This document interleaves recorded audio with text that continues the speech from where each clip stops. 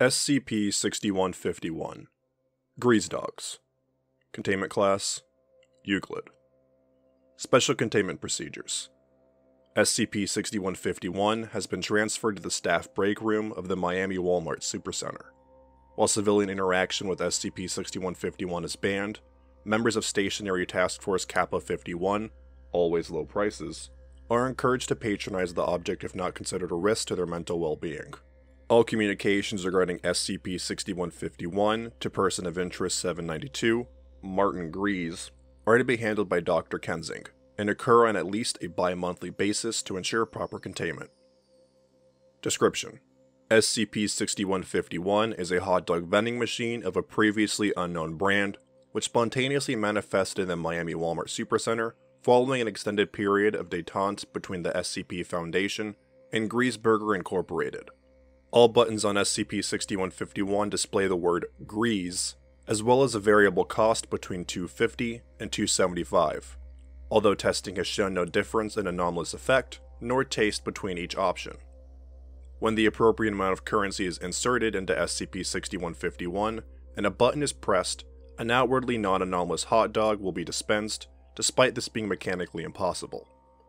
Internal imaging shows the inside of SCP-6165 is composed of haphazardly placed mechanical parts, a car battery, flesh, and Greazeburger legally distinct void byproducts. Upon consumption, the consumer will fall unconscious for approximately 15 seconds, with no other adverse physical effects following reawakening. The subject, henceforth referred to as SCP 6151 1, will experience extreme time dilation during this, recording the period to last anywhere between several weeks and millennia, with the median experience time of 14 years. During this, SCP 6151 instances report extended conversations with the figure claiming to be Martin Greaze, largely focusing on Greaze Burger Incorporated and lessons in business management. Addendum Communications between Foundation and Person of Interest 792. Interviewer Dr. Kensing. Interviewee Person of Interest 792. Martin Greaze. Context Following manifestation and preliminary testing of SCP 6151, contact was opened with Greazeburger Incorporated via SCP 5921 to deduce the origin and intent of the item. Begin log. Dr. Kensing dials his personal number into SCP 5291. His phone fails to ring, instead, immediately going to voicemail while person of interest 792 picks up the phone from an unknown, presumed extra dimensional location. Person of interest 792. Welcome to the 24 7 Greazeburger Hotline, bringing your humors to the modern consumers. How can I help? Kensing. Could I speak to, uh, Martin? Universe? What? Never mind, forgot how much of a pain you lot were. Kensing, right? Right. One moment. The sound of someone attempting to hum jazz music begins to play through the phone. It is discordant, and Dr. Kensing instinctively pulls the phone away from his ear in self defense. Approximately 35 seconds later, it abruptly stops and a user returns to the other end of the phone. Of note, it is the same voice as the start of the call. Alright, Martin here. What's up? What's up with the brand new hot dog machine? That's a new thing we cooked up recently. Profits have been through the roof since you started giving us 40% of yours. So, we decided to lend a hand with the Greazeburger Refreshment and Educational Nutrition Dispenser. How did you do that? Do what? How the hell did you manage to say Greazeburger superscript trademark out loud? I'm not even gonna dignify that with an answer. I. Just the hot dog machine. We gave one of ours a hot dog and they went mad. What's up with that? I tried to teach him, really did, but he just wasn't getting the basics. Buy high, sell low, Australian school economics, the classics. We must have been there for hours. D53289 reported being in there for well over three decades. By Seamus, you and your time. Whatever, decades. It's a simple idea. You lot finally listen to me and start this little joint taking off thanks to the eternal power of my greasisms. You make more money, slide your dues my way, everyone wins.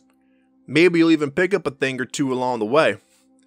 Anyway, I've got some big stuff on the way, so I'm gonna have to dip. Everything's coming up Greaze, baby. And just remember, you can't spell Greaze without EZ.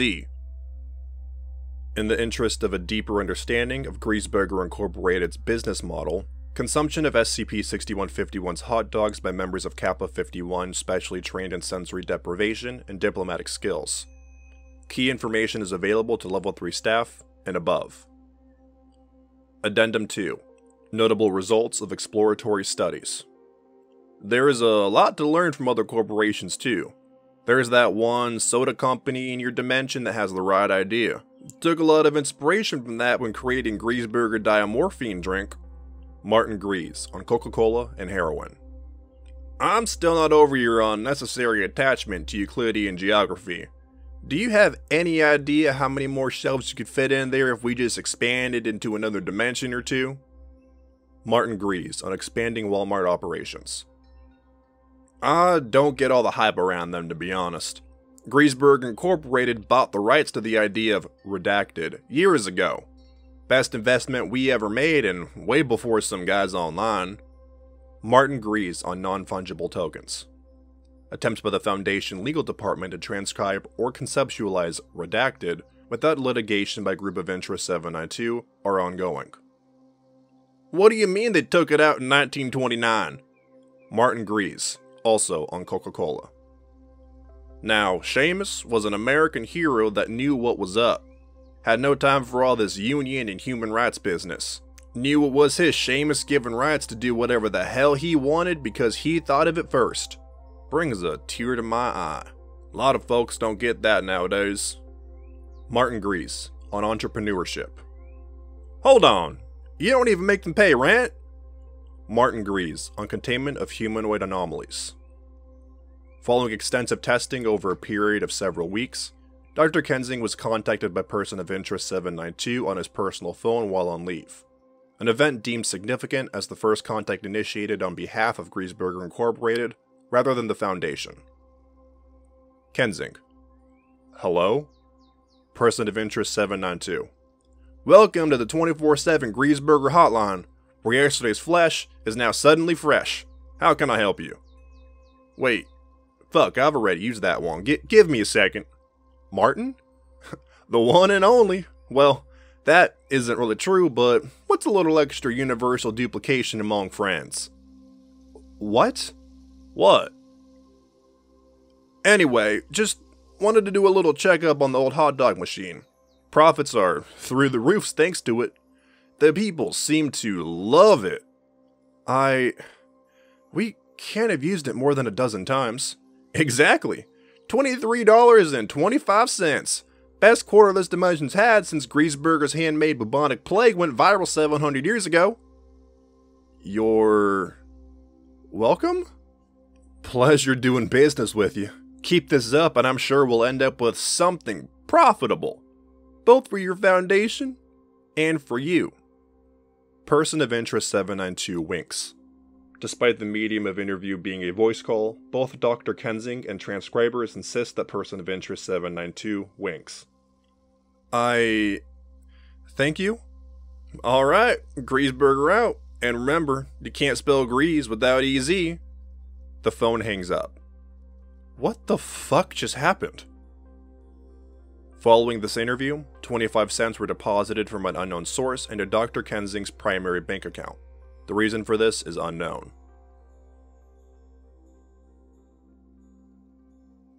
Thank you for listening to SCP 6151. If you enjoyed this SCP, please like and subscribe, and also follow the link in the description to the SCP Wiki and vote to support it and the SCP Wiki as a whole. Also, if you have any SCPs you'd like for me to do, please leave a comment below, and I'll see what I can do.